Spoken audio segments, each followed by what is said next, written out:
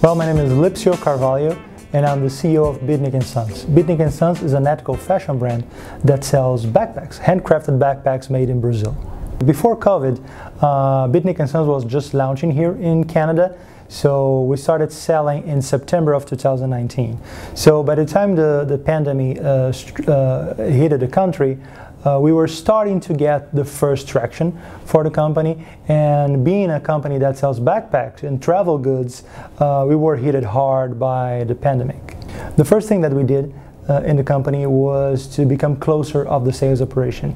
So measuring sales uh, on a daily basis was even more important uh, in the first days of COVID-19. Uh, by April, unfortunately, we decided to shut down the company temporarily.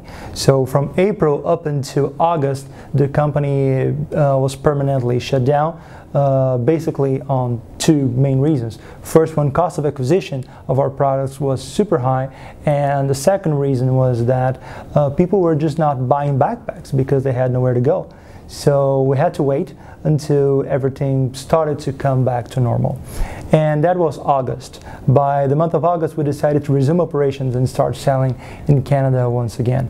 August was a, a month that we did fairly okay, but uh, we switched our focus instead of aiming at uh, North America as a whole, we concentrated uh, our investment mainly in Canada uh, and starting to sell a specific line of products that we found that would be uh, easier to sell and we guarantee a better traction in the first months.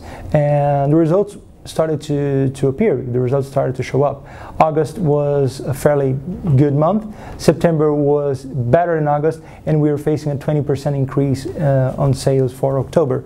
So we are very hopeful that November will be an even better month for, for results and for and Sons, and hopefully the, the COVID crisis is already passed on. And for the future, the plans are just to get back on track. And we are aiming to get uh, to scale up and sell more bags and conquer Canada for good uh, uh, in 2021. So everything we're doing now is a preparation for next year. So we're still measuring results again. We are starting over uh, uh, to make 2021 everything that we hope for 2020.